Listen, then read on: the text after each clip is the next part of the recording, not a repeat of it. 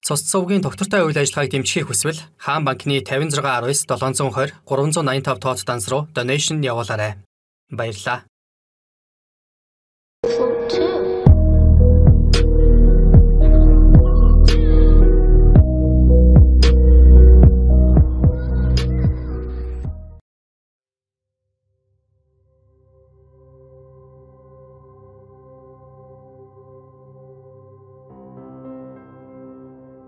Би эвтэхнэр хэлэхэд нэлээд буурай хөгжилтэй хотод өсч тарнсан. Ердөөсөөл тариалангийн талбай хаягдсан сүмүүд элэгдэж муудан өнгө зэмжээ алдсан байшингуудаар дүүрэн. Хайварын хүн болгоны амьдрал тааруу. Хөрөнгийн альбан татварын хэмжээ жилдээ өсрээд л 1000 доллар байх жишээний. Үүнийгээ дагаад энэ хавьд сонин сонин нөхдүүд ихтэй. Манай хөрш хүртэл сонин гар байсан. Дажгүй зантай гихтэл сонин. Манай гэр бүлч бас дарчин л байсан л да. Гэхдээ би болон ах ич дүүс маань өсч томроод ажил хийцгэж эхэлснээр амьдрал маань арай дээшилсэн. Нилийн дээхэн үед шүү дээ. Тухайн үед Hot or Not гэдэг аппликейшн нилээд түгээмэл байсан үе. Би тэрүүгээр дамжуулан Келли гэдэг охинтой танилцсан бөгөөд нэг хэсэг уулздаг байлаа. 100 дуус гэж байх үед танилцсан бид 9 дугаар сарын турш уулзсаар 10 дугаар сартай золгосон. Тэр нэг өдөр Келли бид хоёр зардал байхтай ч дажгүй болцоо хийчих санаатай гарцгаалаа.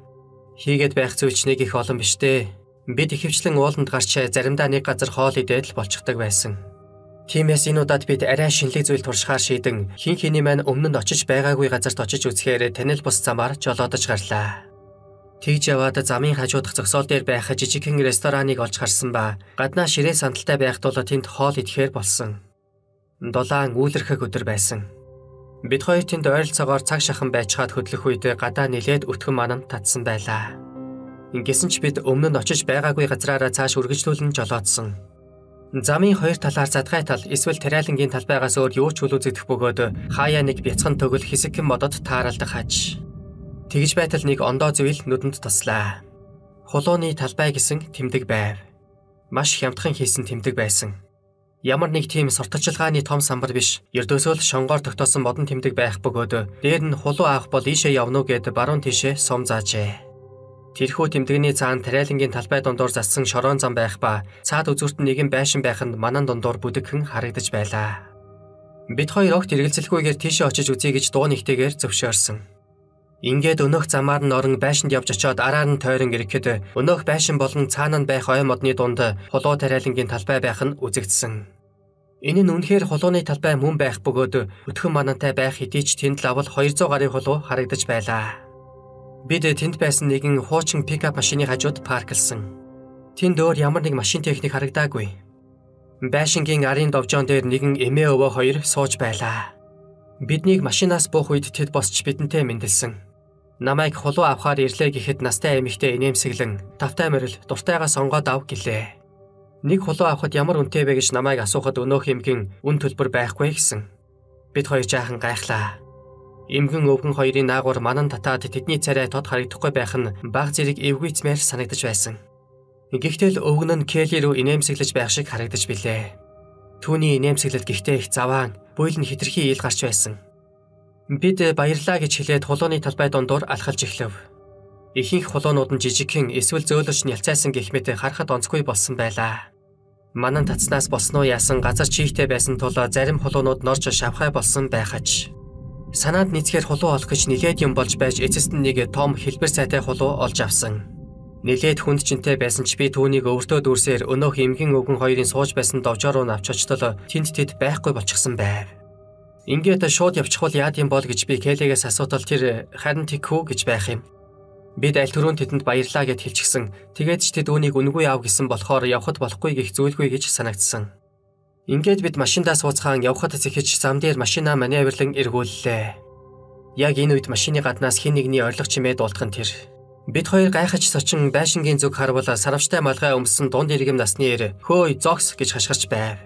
Би машины цонхоо доошлуултал тэрбээр завсраар нь өнгөж ирээд та нар яаж байна аа? Би 911 рүү залглаа. Химэн тачигнаж эхэллээ. Бид яасан гэж намайг хэлтэл тэр наад хулууга яг одоо буцаагаад тавь гэх аж. Келли бид хоёр зэрэг зэрэг ам уралдан байж эмгэн өвгөн хоёр биднийг аль дуртайгаа сонгоод ав гэж хэлсэн талаар өнөө хэрд тайлбарлаж гарлаа. Би тэднийг түүний аав ээж хоёр нь гэж бодсон. Харин тэр урдаас юун эмгэн өвгөн хоёр та хоёрд юугаар яриад байгаа? Гэхдээ би таны аав ээж хоёр чинь энд бас хамт амьдардаг уу? гэвэл тэр надад аав ээж байхгүй гэж хариулсан. Келли бид хоёр гайхан беби рүүгээ харлаа. Би тэгээд өнөө эрт хандан Аха 10 минутын өмнө таны арын довчон дээр эмгэн өвгөн хоёр сууж байсан штэ. Тэгээд тэр бидэнд дуртайгаа сонгоод ав гэсэн. Ингээхэд тэр энд ямар ч эмгэн өвгөн байхгүй. Ингээд хулуу хаан байгааг асуусан. Би арын багаажинд байгаа гэд төгжээг нь тайлахад тэр хулуу гаргаж аваад дахиад биднийг энүүгээр үзэгдэх юм бол буудна гэж байх юм. Тэгээд үүний дараа газар руу нулимснаа байшин руугаа буцаад алхсан юм. Бид хоёрч тэндээс явсан. Хин хин маань л гайхшаа барж байлаа. Зүгээр тоглоом нарига байсан юм болов уу? Гэхдээ тэгж тогломч гэж юу байхав? Би тоглоом болгож тэр хоёр сүнс байсан биш үү? Гэхдээ Келли айж чихүүдсэн бололтой намайг битгий тийм юм яар гэсэн. Тэр үед би саяны хийсэн зүйлээсээ өөрөө ч бас айх шиг болсон. Бид чив чимээгүй хэсэг явцгаалаа. Хоёулаа үнэхээр тийм юм болов уу гэж бодож явсан байх. Сонирч цандаа хөтлөгдөн дараа нэг өдөр ах トゥ усын маань хоёр нь хулуу авахар тийшээ явсан. Тэд өнөө хэрээс хулуу худалдаж авсан бөгөөд тэр зураа түүнээс ганц нэг зүйл асууж яриулсан юм билээ. Тариалангийн талбайн талаар асууж байснаа тэнд хинтэйгээ амьдрдгийг нь асуухад харин тэр тэнд ганцаараа амьдрдаг гэж хэлсэн гисэн. Үүнийг нь сонсоход эвгүйцмээр байлаа. Өнөөдрийг хүртэл би тэнд чухам юу болоод өнгөрснийг бодоод олдоггүй. Имгэн өвгөн хоёрын талаар тэр эрэхтэй худлаа хэлсэн юм болов уу? Мэдхгүй юм да. Магадгүй л юм. Гэхдээ яах гэж? Үүнээс аймаар асуулт гэвэл тэр худлаа хэлээгүй. Тэнд үнэхээр ганцаараа амьдардаг бол яах вэ? Тэгвэл тэр эмгэн өвгөн хоёр ямар очиртай хүмүүс байсан гэсэн үг үү?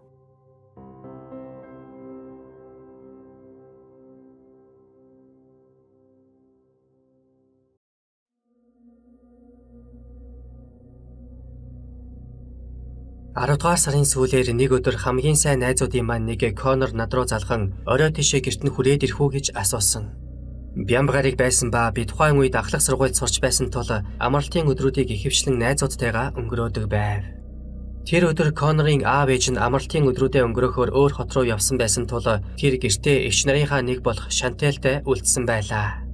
Тэр эгч нь түүнийг тухайн хугацаанд харж байсан гэхүү дээ. Энэ бүхнийг сонссон би найз маань шоудах гэдэл намайг дуудаж байна да гэдгийг мэдэж байв. Төрөн хэлсэнчлэн надад тухайн үед санаа зовоод байх ажил энэ төр байгаагүй тул дуртай наргагүй зөвшөөрч тэднийх рүү гарч одсон. Тэдний очоод бид хоёр эхлээд хэдэн цагийн турш том өрөөнд нь Call of Duty тоглонгоо сургууль, спорт, октод гэх мэт бидний амьдралд хамаатай янз бүрийн зүйлсийн талаар ярилцав. Тэгж байснаа манай найз гэрийнх нь ойролцоо болж байгаа Халлоуины үдшилтэгийн талаар зохиолгож манай сургуулийн зарим хүүхдүүд бас тэнд очих гэж байгаа талаар дуртаад хамт очихыг санал болгосон.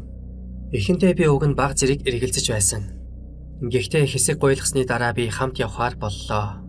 Би тийм бүрэг ичимхий хүн биш л дээ. Зүгээр л тэр орой шоудах сонирхол төрөхгүй байв. Конор харин тийшээ очихын түүс болж байсан ба найзаагаа бодсондоо би ч бас явж таарсан юм. Хувцас хэрэглэл яах билээ гэж намайг асуухад тэр хоёр ширхэг харуул хамгаалалтын ажилтны цамц гаргаж ирсэн тул бид хоёр тэрийг нь Халлоуины өмсгөл болгож өмсөхөөр шийдсэн. Тэгээд оройн 10:30 хүртэл дахин ганц 2 цаг Xbox тоглосны дараа Connor дээд давхарлаггүйн гадагшаа гарах гэж байгаа талаараа Шантелд хэлсэн болсон. Ингээд бид өнөөх цамцнуудаа өмсөд гарав. 5 минут алхаад л гаднаа Халлоуины чимэглэл бүхий байшингийн гадаа эсцгээсэн ба дотроос нь хөгжим сонсдож байлаа. Дотог шорхоод хөгжмийн нүргэлсэн чимээ урдаас угтан авсан ба тэнд барагцаал бол 60 70 ахлах сургуулийн хүүхдүүд бужигналдан энд тэнд хит хитээрээ ярилцаж шуугилд эцгааж байсан. Ахлах сургуулийн байдгалны гүдэжлэг мөндөө. Манай бейсболын багийн гишүүн удаан уулзаагүй байсан Лено намайг олж харан өөрлөгөө сатааруулсан тул би хэдхэн минутын дараа гэхэд Конороос төөрсөн байв. Би диван дээр суугаад Лено болон босод багийн гишүүд зарим найзуудтайгаа хэсэг буухалсан. Хөгжилтэй дурсамжууд хөөрнөн инээлдэж үдэшлэг дээр хөвчлэн болдог хөгжөөнд тоглоомд оролцсоор бараг 2 цагийн дараа гэхэд би үнэхээр ядарч нойр хурч эхлэв. Гэрлүүгээ харж амрах цаг болсон нь нэлт байлаа. Конорыг хайгаад үзтэл тэрээр галтгооны өрөөний болонд нэг охинтой сэдэгнэд байж байв. Тэдний яриан дундуур санаандгүй орсон би Конороос гэрлүүн очоод унтчихуу гэвэл тэр тэг тэг гээд өөрөө бол тэндээ дахиад хэсэг байна гэлээ. Ингээтэл түүнтэй юм ярьж байсан охин харин намайг доошоо зойрын өрөөнөөс очоод хідэн уух юм аваад ирээч гэж байх юм. Тэдний айгүй чухал яриаг тасалдуулсандаа хальт хэмжсэн би тэгээл гэж хэлсэн. Ядаж тэгж тус болъё гэж бодсон. Зойрын өрөөг олж ядаад байх зүйл байсангүй. Хаалгыг нь нээгээд бүдэгхэн гэрэлтэй шатаар уруудан буулаа. Сүүлийн хідэн гიშгүүр дээр хөл алдаад хөргөчөнд тулж зогсов. Хөргөгчний хаалгыг нээх яг тэр үед хин нэг эрэгтэй хоолой араас цочтол дуугархан тэр. Би дуу сонссон зөврөө давхийн өсөр чиргэн гараа дэш нь өргөсөн. Хар нүмерэг бүхий өмсгөл өмссөн 35 орчим насны өндөр залуу миний ард зогсож байсан ба тэрээр ярзайтал инээсэн байдалтайгаас гадна хоёр гараараа цочоох маягийн дохио зангаа гаргажээ. Яаж байгаа? Ингэж би элтэд ууралсан өнгөөр орилон хэлсэн. Өнөөхөр инээгээд өөрийгөө үдшилгийн эзний үеэлнэ гэж танилцуулсан. Би үнэхээр их цочирсан тул түүнийг дээд давхарт нь чанга хөгжин бүхий нүсэр үдшилэг болж байхад ямар учраас тэнд зөөрийн өрөөнд ганцаараа байж байсан талаарч асуусангүй. Өнөөх залуу надтай үргэлжлүүлэн яриа өрнүүлэх гээд байгаа бололтой эв дүүгүй ярьж гарсан ба би тэрийг нь таслан найздаа уух юмыг наваачж өгчхөд явах хэрэгтэй байгаа талаараа хэлсэн. Уг нь би гадуур хүн амтантай танилцаж юм хум ярихдаа их нээлттэй хүн. Гэхдээ тухайн үед тэр хүний байгаа байдал надад үнэхээр таалагдаагүй тул би түүнээс салж явах гэж яарсан. Ингээд шатаар өгсөн алхаж эхлэх үед тэр ардаас танилцахад таатай байлаа гэх нь дуулдав. Би найздаа баяртай гэж хэлээд үдшилгээс гарч одсон. Конорын байшин руу буцаж алхах замыг ойролцоох байшин болгоны гадаах чийдэн Халлоуины чимэглэлүүд гэрэлтүүлж байлаа. Гэрэлтүүлээгүй байлаа ч уг нь онцгийн ялгаагүй. Учир нь үсрээд л 5 минутын зайтай байв. Би түрүүн зойрын өрөөнд болсон таагүй учрлын талаар эргэцүүлж явлаа. Тэр залуугийн надад төрүүлсэн эвгүй мэдрэмжээс салж чадахгүй л байв бодох тусам сонин тухгүй санагдаад байсан. Тэгсээр Конорын байшин дээр ирэхэд ямар ч гэрэлгүй байх ба Шантелийн машинч гадна байхгүй болсноос гарахад би ганцаараа байх бололтой. Харанхуй байшин руу ороод би гэрэл энтерч асаасангүй. Унтахаар шууд л зойрын өрөөрөө буулаа. Диван дээр очиж хөвтөд нам унтчихсан. Шууд л нойрон давтаад магадгүй 15 минут л болсон байх. Дээд давхраас чимээ гарч намайг тэр дорн сэрээлээ. Би амьсгаа даран чимээ чагнасан боловч юу ч дуулдсангүй. Би хийм сонссон байлгүй гэж бодоод буцаад унтхаа бодсон. Хэр уцсныг сайн мэдэхгүй ч хэн нэгэн алхаад байгаа бололтой жихрах чимээ миний эц дээрээс дуулсан юм. Би Конор эсвэл Шантел ирж гисэн юм байх таа гэж бодсон чи хөлийн чимээ тэдний хэн нэгэн гэхэд арай л хүнд санагдсан. Би уцаа гаргаж ирээд Конор руу бичиж гэртээ ирсэн эсхийг нь асуув.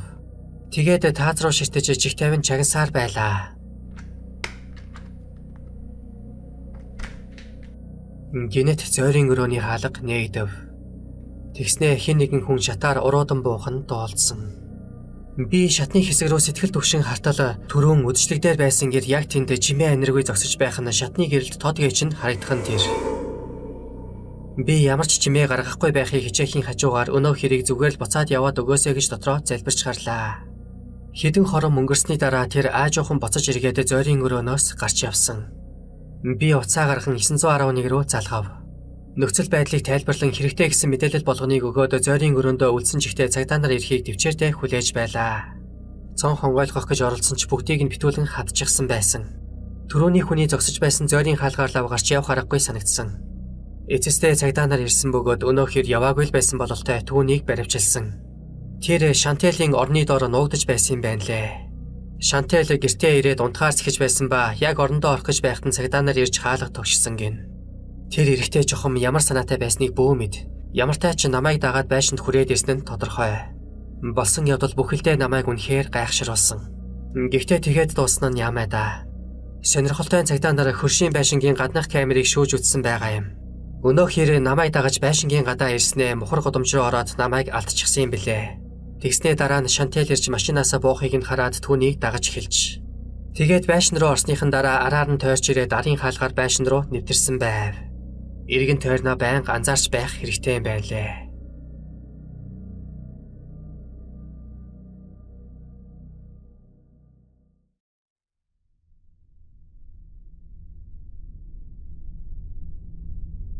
Аравдугаар сараа дундаа орж байлаа. Навчис шарлаж улбар шаараа шар хоёрын гоёмсог хослолыг харуулж эхэлж байв. Миний эхнэр Кортни бид хоёр бол ижил хүйстэн гэр бүл. Гэрлээд 2 жил болж байна. Бид намрын налгар өдрүүдийг ашиглан Нью-Йорк мужтайхаа Catskill уул руу очихоор болсон юм. Бид хүмүүсийн явган аялал хийдэг түгээмэл хэсэг болох Overlook уулын бэлд Airbnb захиалсан байсан. Бид хоёулаа аялах маш их дуртай хүмүүс болохоор эх орны өнцөг болон бүрээр хэсэж цэцэрлэгт хүрээлэн болон явган аяллаа газруудаар явж үзт юм л да. Нью-Йоркийн Catskill гэхэд бид ингээд 3 дахь очиж байгаа нь энэ. Airbnb байшингийн эзэн нь 50 60-аад насны нүдэнд дулаахан яриасаг эмэгтэй байлаа. Нэрийг нь нууцлах үднээс би түүнийг энд зүгээр л Кати гэд нэрлэжээ. Кати юмд түргэн шуурхай хариу өгдөг, хамтарч ажиллахад тун амар хүн байв. Тэрээр жижигхэн байшингийнхаа түлхүүрийг кодтай цоож бүхий шуудангийн хайрцаг дотроо хийж үлдээсэн байсан ба кодо над руу явуулсан. Байшинд яваад ороход модон шалтай, модон хантай. Гэхдээ шалан дээрээ тодонгийн хевс дэвссэн гэх мэт яг л хөдөө орон нутгийн уур амьсгалыг төгс бүрдүүлсэн гимээр төгчлөлтэй байгаач. Цэвэрхэн эмэг цэгт сайтай дээрээ нэмээд хоёр хүнд бол хангалттай зайтай цэлгэр санагдсан. Гараад харахад иргэн тойронд битүү модод Ойрхон нэг сарвч байх бөгөөд тэрийг бас нэг байшин болгон төгчүүлж дотор нь бильярдын ширээ, дартсын самбар зэргийг байрлуулж хананд нь өөр янз бүрийн зүйлс өлгсөн байв. Бид Overlook Hall-ын бил рүү эхлээд машинаар очсон. Очиход тэр хавьд хэд хэдэн хүн явж байсан. Тийм олон хүн биш ч бас тийм цөөн биш. Биднийг уулууд өксөх замд буцаад бууж яваа элэгчд ч таарч байлаа. Бид авирсаар нэгэн том чулуун дээр очиж суун байгалийн сайхныг бишрэн хэсэг саадсан. Тэгж байтал ард талаас навч шижинэн хэнийг нэг хөлийн чимээ дуулсан юм. Бид эргээд хартал тэнд нэг эмэгтэй ганцаараа мод түшээд зогсож байлаа. Харваас 50 нилээд гарсан гэмээр тэр эмэгтэй бидэн рүү харж байсан нь хэлд бидний өөрлөнд харангуут ив хавгийнхэн өөр тишээ харсан юм. Өөр нөхцөлд би уг нь шууд л дуугарч мэдлэх байлаа. Гэхдээ тэр нөхцөл байдлыг сонирн болгосон. Тиймээс бид зүгээр л тоохгүй байхаар шийдсэн. Ингэтэл санаандгүй байж байтал тэр өөрөө гинэт сайн уу гэхин тэр Бид түүн рүү дахин эргээд гартал тэр инуудад харин бид нөрөө харж байлаа. Бид зөрүүлээд мэндэлтэл тэр биднийг хаанаас явааг асуусан бөгөөд эндээс эхлэн бид ертийн гимээр хэсэг яриа өрнүүлсэн. Түүнийг Мелинда гэдэг бөгөөд энэ хавьд амьдардаг гин. Тэрээр биднийг хаана байрлаж байгааг асуусан ба энэ хавийг мэддэг болохоор үзэж харах газруудыг санал болгоё гэж байсан. Би түүнд замын яг хажууханд Airbnb авсан гэж хэлсэн. Тэрээр бидэнд очиж үзэх зарим газруудыг хэлсэн ба тэгсгээд бүд чимээгүй болцгоо. Төдөлгүй Кортни бид хоёр түүнд танилцахад таатай байлаа гэд буцаад машин руугаа жим даган уруудаж эхлэв. Хаширхалтай нөнөөх Мелинда гих чимэгтэй бас уулнаас бууж эхлэх нь анзаарагдсан. Ингэхдээ тэр шууд дуулахааргүй байдалтай биднээс баг зэрэг зайтай бууж байсан. Бид буух замдаа нэг газар сууж ганц 2 минут амарсан ба энэ үед өнөөх Мелиндач бас зогсох шиг санагдлаа. Түүний хөлийн чимээ дуулахгүй байсан ба бидэнд баг зэрэг жирэхэх мэдрэмж төрж эхэлсэн. Тэр биднийг дагаад байх шиг санагдсан тул бид тэндээ хэсэг байснаж түүнийг урагш өнгөрөөхөөр шийдсэн. Хэдэн минутын дараа тэр эцэстээ нэг юм доош үргэлжлүүлэн бууж өнгөрсөн. Тэрээр бидний хажуугаар өнгөрөхдөө биднэрүү харж инээмсэглээд "За за" гэж байх юм. Бид түүнийг доошоо бууж бүр харагдхаа байсныхан дараа хөдөлсөн. Зогсоол дээр очиж машинаа аваад тэндээсээ шууд Airbnb рүүгээ жолоодлоо. Их ядарсан байсан тул хэсэг унтаж нойр авчгаад гарч тентхийн нэгэн дажгүй газар болох Garden Cafe-д очиж хоол идсэн. Дуусгаад гарталаа гадаа тас харанхуй болсон байсан тул хайрч орондоо хөвтөн кино үзэхээр ярилцаж шууд байшин руугаа хөдлөв. Өдөржин шахуу явхан аялал хийсэн тул шөнө нь ёстой нам унтахаар байлаа. Зочны өрөөнд зурагтнаас өөр зүйл байхгүй чи тэр нь Netflix гэх мэт хэрэгтэй бүхнээр тоноглогджээ. Тимээс нэг гоё кино олоод эхлүүлсэн. Их ядарсан байсан тул киноны дунд хэсэгт хин хин маань өөрөглөж эхлэв. Төдөлгүй Кортни нам унтсан ба би ч араас нь тас үсэрсэн. Гэтэл нэг мэдсэн чинь гинэтхэн хаалга тогших чимээнээр би тэр даруй нойрноосоо бүрэн сэрэв. Бид ой моддын дунд нь шахуу байна шүү дээ. Хаалга тогших чимээ дуулна гэдэг төвшөртэй зүйл. Учир нь энд өөр хүн байх учиргүй. Хаалган дээр ядж байхад шагаавч байхгүй тул цаана нь ямар хүн байгааг харж чадсангүй. Хөшөөнүүд бүгд хаалттай байсан ба завсраар нь гадагш шагаах зориг хүрээгүй. Би Кортныг татаж сэрэн хаалганы цаана хин нэг хүн байгаа талаар хэлсэн. Бид зургтынхаа дууг хаан дахин чимээ гарах хэсгийг чагнан хүлээлээ. Хэдэн секундын дараа дахиад л За яадагч байсан хаалгаа нээж л болдоггүй юм шүү гэдэгт бид хоёул санал нийлсэн. Уг нь нэг их орой болцохоогүй. Оройн 9 цаг л болж байсан тул би Кати руу мессеж бичин түүний гадаа ирчихсэн байгаа эсхийг нь асуулаа. Гэтэл тэр үед гинэт цонх тогших чимээ гарч цаанаас нь нэг эмэгтэй хүний хоолой дуулдан хүн байна уу гэж байх юм. Кортни бид хоёр үнэхээр айж сандарч эхлэв. Магадгүй бүр паниктсан байх. Танихгүй хүний байшингийн гаднаас цонхыг нь тогшно гэдэг ердийн эрүүстэггүйтэй хүний хийгээд байх зүйл биш. Харин үүний дараа тохиолдсон зүйл улам аимшигтай байсан. Хин нэгэн байшингийн цонхыг дээш нь өргөж нээхийг оролдох нь тодоос тод сонсогдсон. Азар цонхнууд бүгд түгжээтэй байв. Энэ үед Катигаас дуудлага ирсэн бөгөөд би уцаа Кортнид харуулan магадгүй тэр гадаа ирчихсэн. Тийм болохоор залгаж байгаа байх гэв. Тэгээд уцаа авч аяархан хариу өгвөл Кати харин гэртээ байна гэд гадаа ямар учиртай хүмүүс байгааг асууж байх юм. Би түүнд юу болоод байгаа талаар хэлтэл тэр гайхаж бас санаа зовсон өнгөөр түүний таньдаг ямар ч найз эсвэл хамаатан саднууд нь тухайн байшин руу очих ёсгүй дээ гэж хэлсэн. Тэгээд нэмж хаалгаа битгий тайлаараа гэснийхэн дагуу бид ч тайлаагүй. Уцаа тасалсны дараа өөр цонхыг бас гаднаас нь тогшхон дуулсан ба төдөлгүй хин нэгэн надад тусламж хэрэгтэй байна. Гуйж байна. Хаалгаа тайлаач гэсэн. Бид хоёр үндэнд хуурдчихаар тэнгүүд арайч биш байлаа. Хаалгаа нээчгэл юм бол ямар нэг муу зүйл тохиолдох гээд байгаа нь тодорхой байв. Өнөө явган аялалын зам дээр таарсан хачин эмхтэй байж магадгүй гэж санагдаж эхэлсэн. Тэр бидний араас дагаад Airbnb дээр хүрээд ирсэн юм шүү. Бид үнэндээ тэрийг анзаархааргүй байсан. Би унтлахын өрөөрөө ортол тэнд бас тас харанхуй байлаа. Хөшгийг эвтэйхэн хөдлөхөн багхан зай гаргаад завсраар нь гадагшаа харвал цонхны цаагуур хин нэгээр алхаж өнгөрөх нь үзэгдсэн. Тэр намайг анзаараагүй. Би кортны дээр буцаж ирээд гадаа нэг биш хэд хэдэн хүн байгаа талаар хэлв. Энэ бол халдлага гэсэн үг. Би 911 рүү залган хаяг байршлаа хэлээд уцаа таслалгүй хүлээлээ. Хаалгыг дахин хідэнтэй тогшсон боловч бид байрандаа чимээгүй байсаар л байсан. Гадаа байсан хүмүүс эцэстээ шантарсан бололтой тогших эсвэл орилох чимээ гарахаа болов. Цагдаа нар ирэх гэж чамгүй удсан чи ямар таач ирцгээсэн ба энэ үед л айдас дарагдаж харьцангуй тайвширсан их сайн цагдаа нар байж таарсан бөгөөд одоо яах талаар шийдэх хүртэл тэд тэндээ бидэнтэй хамт үлдсэн юм. Би Кати руу дахин залгаж болсон явдлыг яриад аюултай санагдаад байгаа тул тухайн шөндөө тэндээ үлдэж чадхааргүй болсон талаараа тайлбарлав. Тэр нөхцөл байдлыг бүрэн дүүрэн ойлгож байлаа. Тухайн шөнийн төлбөрийг бид төлсөн боловч үлдсэн хоногудаа цуцалсан. Цагдаа нар биднийг юмаа хураан машинд очих хүртэл хамт байцгаасан. Нэг нь биднийг бүр хамгийн ойр байх дэм буудал хүртэл гүйбэрлэж аваачсан ба бид тэндээ хонов. Үүний дараа бид хоёрт үнэндээ тэр хавьд байх нь тухгүй санагдсан тул дараа өдөр нь шууд гэрлүүгээ ботсон. Бидний бодлоор тэнд хүмүүсийг хулгайлдаг нэг хэсэг хүмүүс байсан бөгөөд итгэлийг нь олж авахын тулд настай төр эмэгтэйг ашигладаг бололтой. Тэгээд л хоёулахнаа явж байгаа хоёр залуухан эмэгтэйг харж хаад байгаа болгосон байх. Үүнээс хойш бид хоёр явган аялал хийхдээ юмыг яаж мэдхүүгээд биеэх магаал хүүднээс перс шүшигч авч явдаг болсон.